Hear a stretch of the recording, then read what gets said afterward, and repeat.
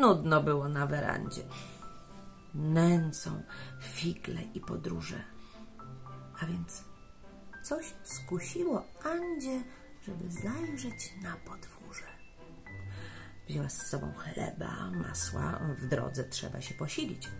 Potem cicho drzwi zatrzasła i zdołała mamę zmylić. Gdy stanęła wśród podwórka i odważnie hen w świat sunie, biegnie jedna, druga kurka i prosi o chleb Andziunie. A za nimi dąży kogut, zwiastun pogód i niepogód, potrząsając groźnie czubem woła Nie bądź samolubem. Dalej nowa wnet zaczepka. Biegnie prędko żółte kacze. Kwa, kwa, kwa. I mnie daj chlebka. Niechże ja i coś tu znaczę. Krówka też podniosła głowę i spogląda srogo szpetnie.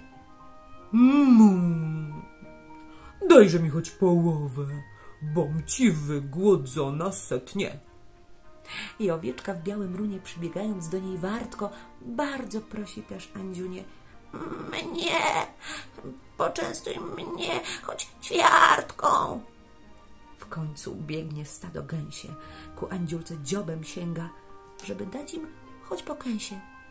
I niegrzecznie głośno gęga. Wobec tylu napastników wielki strach ogarnął Andzie i doprawdy nie wiedziała, jak opędzić się tej bandzie. W końcu wbiegła na drabinę i zamknęła się na strychu. I aż niemal do wieczora przesiedziała.